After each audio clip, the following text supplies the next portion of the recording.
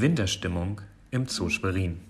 Der ruhige Schneefall lässt fast vergessen, dass hinter den Kulissen gerade auf Hochtouren gearbeitet wird. Das Handwerkerteam bereitet Zufahrtswege vor, prüft ein letztes Mal Metallinstallationen und stellt sicher, dass alles gut vorbereitet ist.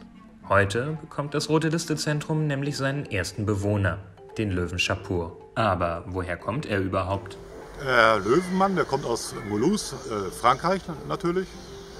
Wir erwarten ihn heute Abend, etwas früheren Abendstunden hoffe ich, dass es nicht zu lange dauert. Noch weiß Schapur nichts von seinem bevorstehenden Umzug.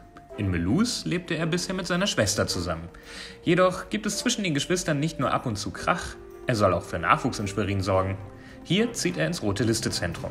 Ohne Zank mit der Schwester wird er sich in Ruhe eingewöhnen können. Zunächst hinter den Kulissen. Wir werden ihn in, in seine äh, Innenboxen lassen. Äh, natürlich wird er die erste Zeit zur Eingewöhnung und auch zur Akklimatisierung, weil es ist schön warm da drin, äh, wird er nur die Innenboxen bzw. die Schaubox bekommen.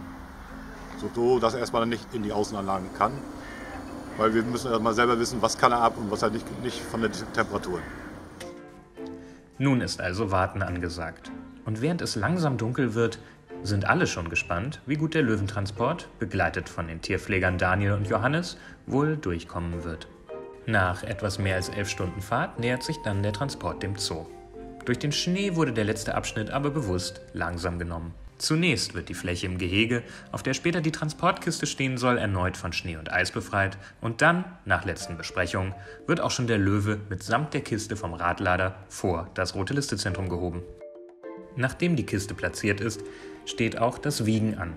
Hierbei wird auch schnell klar, warum der Radlader gebraucht wurde. Ein Gesamtgewicht von knapp 630 Kilo. Auch wenn der Großteil davon das Gewicht der Kiste ist, wird schnell klar, dass der Löwe selbst kein Leichtgewicht ist. Mit speziellen Rollwagen fahren nun Tierpfleger und Handwerker die Transportkiste in das Löwengehege. Nachdem alles gesichert ist, heißt es nun Schieber auf. Doch auch so ein Schieber hat ein gutes Gewicht. Zu dritt wird er angehoben. Und während sich nun die Verbindung zwischen der Transportbox und dem Innengehege öffnet, erhalten wir einen ersten Blick auf Schwerins neuen Löwen. Schapur. Bei so einem Umzug ist auch ein sonst sehr selbstbewusster Löwe eher zurückhaltend. Vorsichtig begibt er sich also in eine von sechs geräumigen Innenanlagen der rückwärtigen Tierhaltung des Rote Liste Zentrums. Shapur ist nur der erste von insgesamt vier Löwen, die später im Rote Liste Zentrum leben werden. Der asiatische Löwe ist hier auch eins der Highlights.